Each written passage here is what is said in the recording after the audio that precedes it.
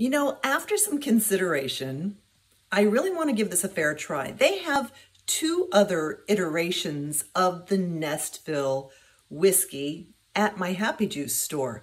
So I think the next time I do a tasting here, I'm going to give another one of those a try and see if maybe one of their other varieties is a little more pleasing. I did notice here on the label it says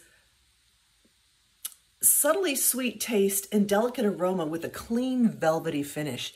And I I wonder if they sort of they sort of missed the whole idea of a whiskey's finish. A clean velvety finish is very nice if you're talking about a fine vodka or a rum or a clear spirit. But I think that most of us whiskey lovers are looking for a little something more than just a clean velvety finish. So just heads up, next time we do a tasting here, I'm gonna try one of their other varieties. So please keep watching.